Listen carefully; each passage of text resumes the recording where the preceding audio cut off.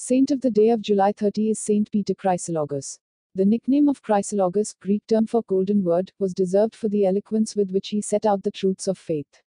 Allegedly, it was given to him by the Empress Galla Placidia, daughter of Theodosius I, one of the three emperors who had jointly issued the Edict of Thessalonica, a fervent Christian and central figure in the history of the 5th century.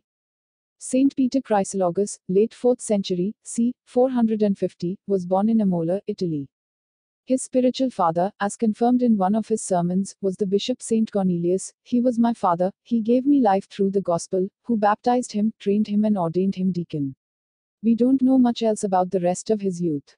The most detailed accounts of his life concern the period of his episcopal ministry in Ravenna, elevated to metropolitan seat of the church around 431 and then capital of the Western Roman Empire, from 402.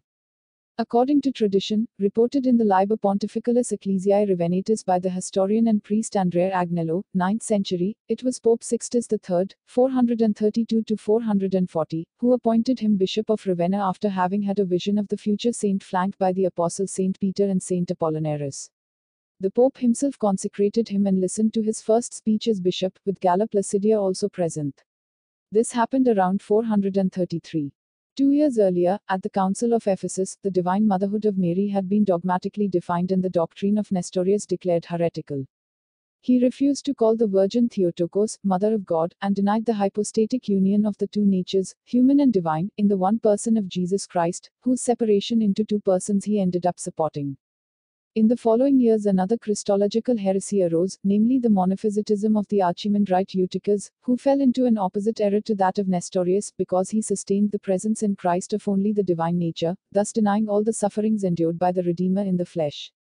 In 449, after Eutyches' grave theological error had been condemned by the Synod of Constantinople, the Eastern Archimandrite questioned Chrysologus as Metropolitan of the Imperial See of the West. The Holy Bishop of Ravenna responded by reiterating the correct Christological doctrine and urged him to turn to the Pope, then Saint Leo the Great, i.e., to the one, through whom Blessed Peter continues to teach, to those who seek it, the truth of the faith as if to say that the primacy of the Holy See, established by divine will, remained so and could certainly not be affected by the decline of imperial Rome.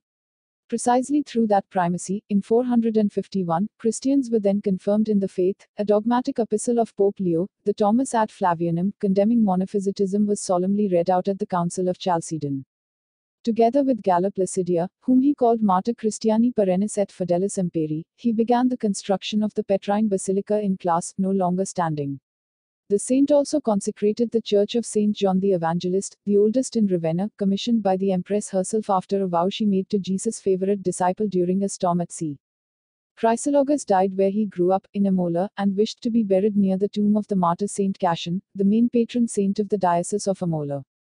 Almost three centuries later, the Bishop of Ravenna, Saint Felix, 725, compiled a collection of the homilies of his predecessor, for a total of 176, although the list was later partly revised for his sermons, in which he confuted heresies, effectively explained the mystery of the Incarnation and the Apostles' Creed, extolled Saint John the Baptist and the Blessed Virgin, recalled the heroic sacrifice of Saint Apollinaris, first Bishop of Ravenna, etc. Saint Peter Chrysologus was proclaimed Doctor of the Church by Benedict XIII in 1729.